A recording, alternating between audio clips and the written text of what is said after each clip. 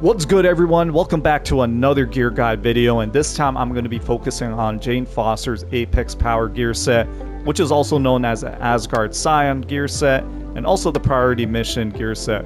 So with this gear set, you guys already know you can get it from the Priority Mission that happens every day during Daily Reset or you can obtain it during the Ruskaya Protocol event.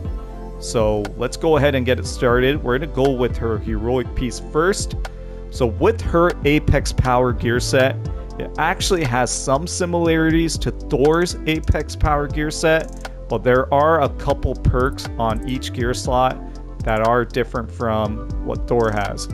So we're going to focus on the heroic one first. So with the heroic piece, it can roll with Valor Precision, Valor and Might, Valor Precision and Might, depending on what type of Jane Foster build you're going for. But obviously, like I mentioned in my Thor gear guide video with the Apex Power Gear set.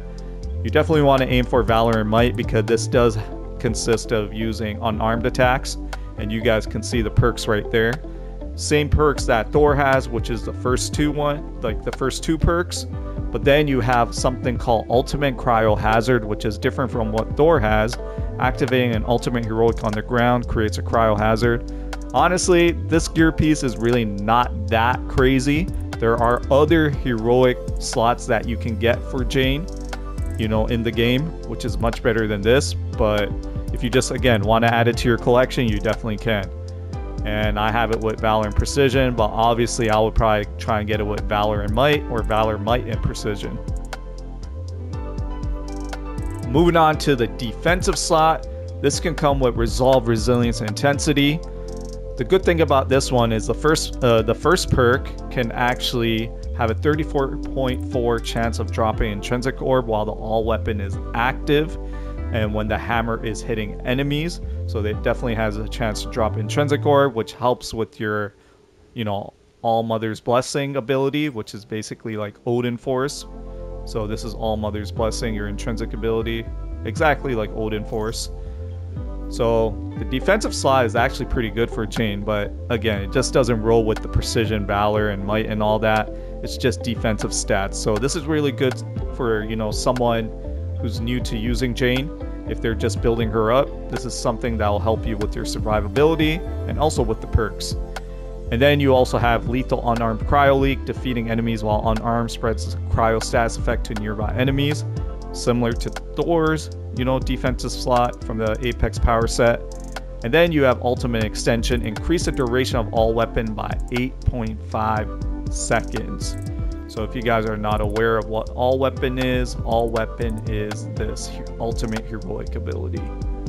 And the duration is currently 20 seconds. But if you have this piece on, you'll be about 28.5 seconds. So let's move on to now the range piece. So like I mentioned in my Thor, you know, Apex video as well, the range piece is nothing crazy. It honestly is just something that you guys can just add again to your collection. This can come with intensity, precision, and proficiency. And the third perk, 20% increased damage from hammer attacks. Pretty decent perk. If you're, again, a new player to Jane, you can probably get this gear piece just to just to use until you get something better because there are a lot more range pieces out there in the game that are much better than this. And this can come with different status effects, gamma, cryo, um, plasma, shock, vibranium. The only status effect it, you cannot get currently in the game is a sonic one with this gear piece or even the melee slot when it comes to this gear set. Hopefully they fix that in the future but this can roll with different status effects, but the third perk will remain the same. Moving on to the melee piece, this can come with proficiency, resilience, and might. And obviously with Jane, I highly recommend, similar to Thor, you want to go with light combo finishers and try and get the second perk with signature attacks. So make sure you try and aim for that if you are trying to get like a melee piece like this. And this can also come with different status effects except Sonic. And then it also has that third perk, Ultimate Blessing Breaker, 25 25% increase to all Mother's Blessing damage while the all weapon is active. Man, I can't talk. I'm just trying to make sure I break down this entire gear set for you guys so you guys know what it's about. But with the third perk, 25% increase to All Mother's Blessing damage while the All Weapon is active.